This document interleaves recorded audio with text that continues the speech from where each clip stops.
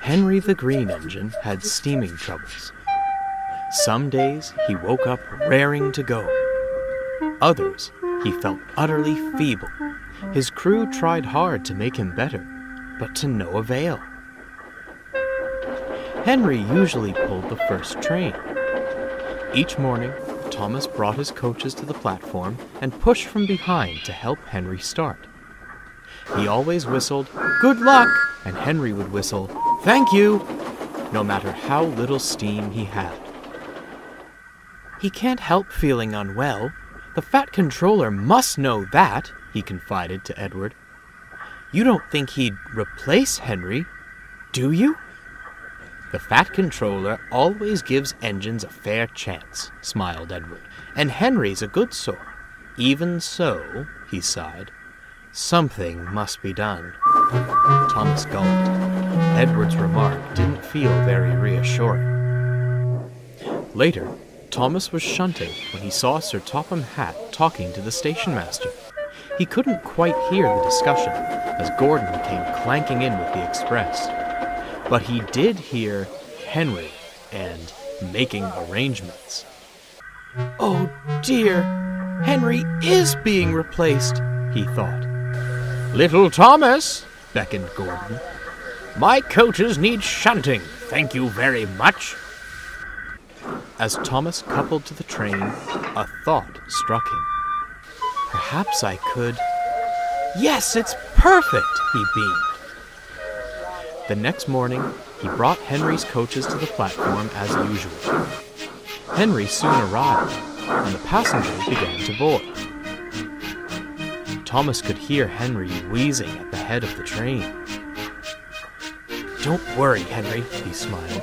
You'll be all right now. The guard's whistle blew, and Henry started off. Thomas followed smoothly at first, but suddenly jerked forward. Thrown off balance, his crew fell from the cab. By the time they'd picked themselves up, Thomas was steaming away. What do you think you're doing, you silly engine? called the driver. Thomas knew exactly what he was doing. He'd remembered Gordon's trick of leaving before he could be uncoupled. This time, he wanted to follow on. I'm helping Henry! I'm helping Henry! he smirked. Cheeky engine, cheeky engine, fussed the coaches. Henry was amazed how easy it felt to pull his train. That's good, come along, that's good, come along, he sang. It wouldn't be good for long. They approached the first station, and Henry slowed down. But Thomas didn't. He was so pleased with his plan that he wasn't paying attention.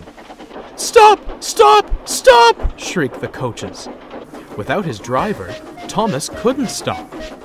Henry braked with all his might.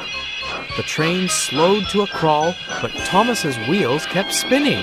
Ooh! He winced, shutting his eyes. Suddenly, he felt his handbrake move, and his steam was shut off. He opened his eyes. They'd stopped at the platform, with angry passengers swarming around a flustered Henry. Phew! sighed Thomas. His relief was short lived, for stepping out of his cab was Sir Topham Hatt. I appreciate you helping the train start, but this habit of gallivanting after them must stop, Thomas. You've no business running off down the main line, especially without your driver. I'm sorry, sir, sighed Thomas, but I didn't want you to send Henry away. He explained what he'd overheard. I'm afraid you've let yourself get carried away, chuckled Sir Topham Hatt. I'm not sending Henry away. I'm rearranging his timetable. If Edward takes the first train, Henry will have more time to build up steam, which should help him greatly. Thomas beamed. He'd never been so relieved to be wrong. Now, back to the yard with you. I have disgruntled passengers to pacify, finished Sir Topham Hatt. Uh, oh, yes, sir. I- I'm sorry, sir, blushed Thomas, and he scampered away. That night, Henry backed down beside Thomas in the shed.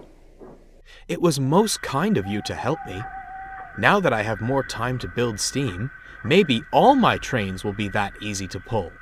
Even without you at the back, he chuckled. Thomas smiled, thankful that Henry wasn't going anywhere.